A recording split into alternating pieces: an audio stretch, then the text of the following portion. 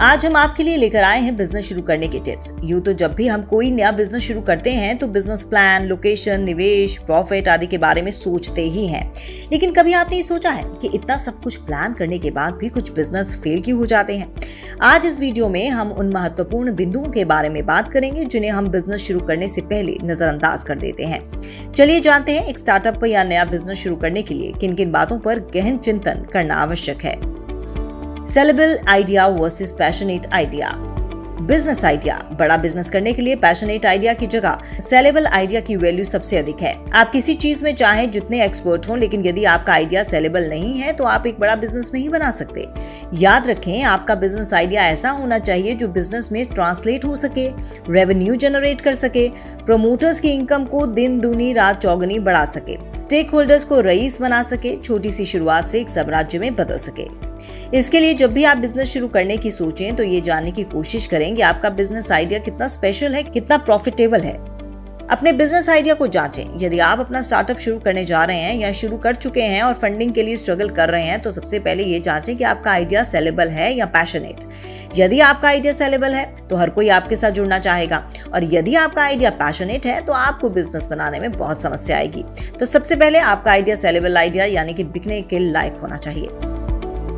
Innovative idea versus problem solving idea innovation के नाम पर बहुत से बिज़नेस खुल जाते हैं, लेकिन कुछ समय बाद वो फेल हो जाते हैं। याद रखें, आपका इनोवेशन किसी बड़ी अपॉर्चुनिटी का दरवाज़ा खोलता हो, किसी बड़ी प्रॉब्लम को सॉल्व करता हो, यदि आपके बिज़नेस इनोवेशन में ये दोनों बातें सॉल्व करने की क्षमता है तो आपका इनोवेटिव बिज़नेस आइडिया चल सकता है।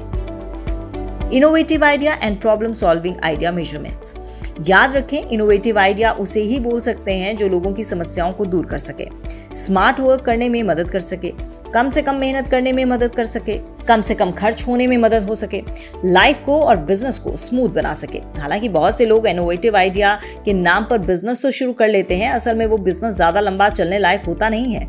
इसलिए भी बहुत से बिज़नेस फेल हो जाते हैं। Small market idea versus big market idea अगर आप स्मॉल मार्केट आइडिया वाला बिज़नेस शुरू करते हैं तो वो बेहद लिमिटेड लोगों तक ही सीमित है और कुछ सालों बाद खत्म हो जाएगा। यदि खत्म ना हो तो भी स्मॉल मार्केट आइडिया अधिक लाभ नहीं दे सकता। ऐसे में जब भी बिज़नेस शुरू करें तो बिग मार्केट को ध्यान में रखकर शुरू करें। आइडिया ऐसा होना चाहिए जो बहुत से लोगों की प्रॉब्लम को सॉल्व करे। Idea geography barrier language barrier वाला ना हो। बड़ा आइडिया उसे ही बोल सकते हैं जो किसी राज्य, शहर, भाषा, संस्कृति आदि से बंधा ना हो। वो सबकी प्रॉब्लम को समझने वाला और सॉल्व करने वाला हो।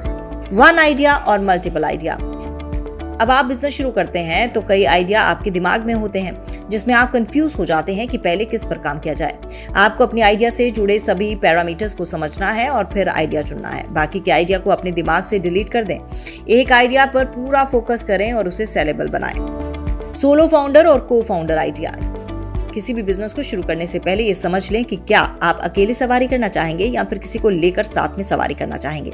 कई बार ऐसा होता है कि लोग सोचते हैं कि मेरा आइडिया है। मैं क्यों किसी को इक्विटी दूँ?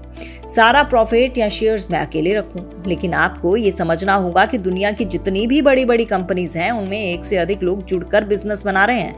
इसका कारण ये है कि एक विचार से अच्छा है कई विचार को एक करना और उन विचारों से कुछ बनाना। तो आज आपने जाना कि बिज़नेस शुरू करने से पहले आपको किन किन पहलुओं पर चिंतन करना है, जिससे भविष्य में आपका बिज़नेस फेल ना हो। आपके बिज़नेस का सच्चा साथी।